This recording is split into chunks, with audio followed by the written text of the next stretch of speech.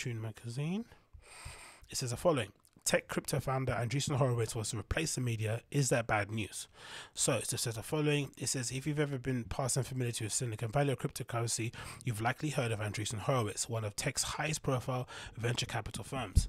The firm, which uh, tech insiders call A16Z, a116Z or A160, however you pronounce it, is famous in part because of its investments, Facebook, Coinbase, and other names, but also because of its mastery at charming and manipulating the media. So perhaps it's no surprise that A160 is building an empire media empire, sorry. The details are still trickling out, but the short version is that after a decade of cultivating journalists over intimate cocktail affairs, the firm has decided to no longer need them. Instead, A16Z is hiring a large editorial team to cover stories um, about crypto, fintech, and other topics with an upbeat slant. If you want a long story, read the exact uh, certain piece A16 press whisperer Margaret wrote. One reason that A16 won't become a media outlet is because it can. Once companies need to rely on the likes of New York Times to get their stories out to the public. Those publications, including Fortune, had a virtual monopoly on the information because they controlled the bundles, aka the newspapers and magazines, through the news website, the news that got distributed. The internet blew up that monopoly slowly at first and then rapidly at once. Platforms like Twitter, Medium, and Substack came to the scene. So they're essentially doing what I think you're going to see most companies end up doing creating their own media arm that they can actually use and utilize to whether it's spread propaganda, um, clarify their position, update their customers on new services and updates and products and blah blah blah blah, and just essentially provide a kind of like I said a platform where it can provide upbeat and positive news on I guess an industry and a sector they clearly feel like is changing the world because it must be frustrating, isn't it? Right. I've worked in startups, right? just as an employee. And I can just imagine what it must feel like to be an actual founder of a company. You're trying to change the world, which you know is a bit corny, a little bit lame, um, a little bit trite to say, maybe a little bit hyperbolic. But a lot of these founders do come into the um, scene genuinely wanting to change the world, wanting to be a disruptor, wanting to actually revolutionize whatever it is that they're going into. And they feel like they're doing good. They feel like they're actually providing um, the world with a safer way to do A, B, C, D, whatever it may be. And then to have parts of the media, platforms like TechCrunch, The Verge, um, you know, Gizmodo, whatever it may be, picking apart every single move you do, scrutinizing every every single decision, painting you in a bad light, not giving you the benefit of the doubt. It must be just exhausting to continually try to correct their, you know, perception of you. So why bother?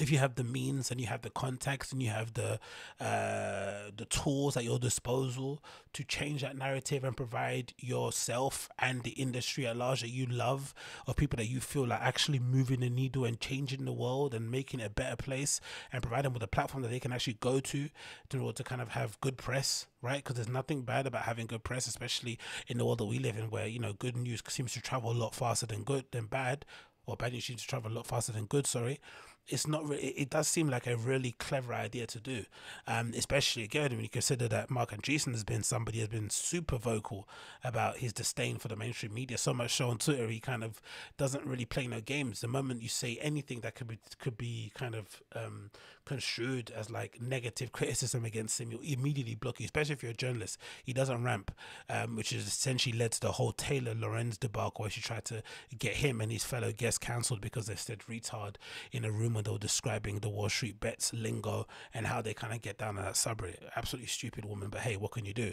But I love it, man. I actually love the idea. And I, again, I, I can definitely see a lot more companies deciding to um, add a media arm to their corporations. Um, again, it provides a safe outlet for you to kind of say what you want to say. Your people are already doing it now on social media platforms as it is. Again, Substack, Medium, Twitter, all these places are blowing up with companies. You know, most startups I worked for had a Medium. Most startups, I think, going forward will have a Substack.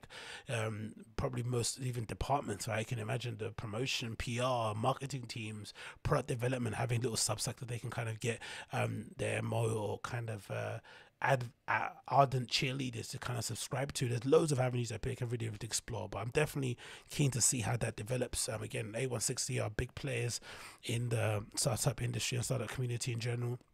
And when they make a move, more likely than not, everyone else is going to make a move too. Um, let's read maybe a couple more here. It says here, let's read this last one and we carry on. Da, da, da, da, da, da. Uh, yeah, says here. Um, uh, the, the the other big reason A160 has turned its back on traditional media is because a firm like many other in tech world regards the press as ignorant and unfair.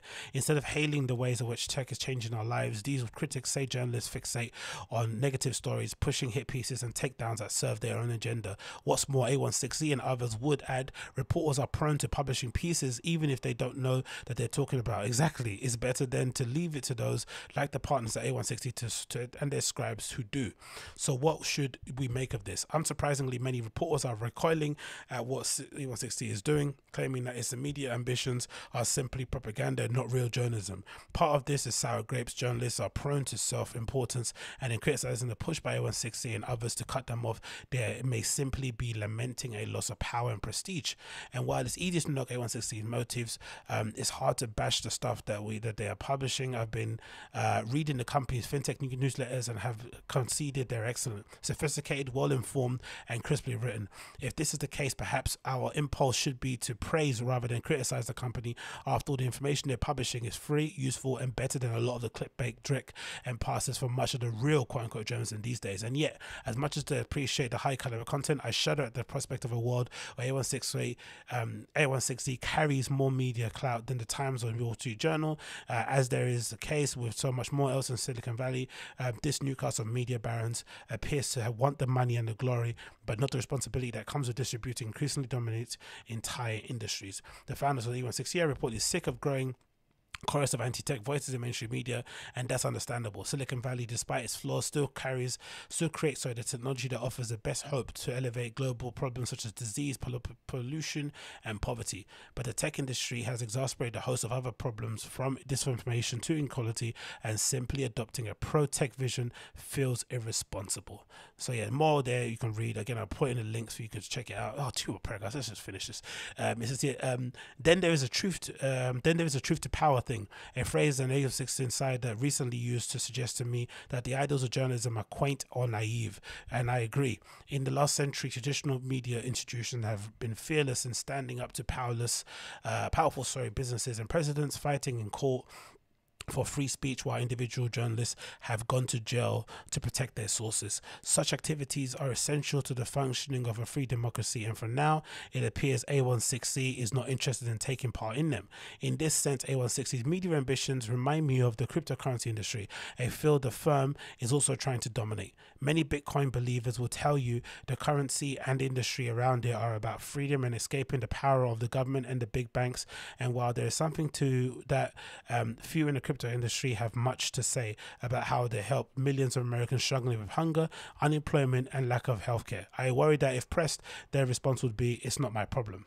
Again, I don't, I, I don't think it's this culture of Jeff, Jeff John Roberts of Fortune. I don't think it's that deep. I really think it's just more so the case of them being fed up of all the anti-tech, anti-startup, anti-Silicon Valley, um, you know, uh, think pieces and hit pieces that exist out there.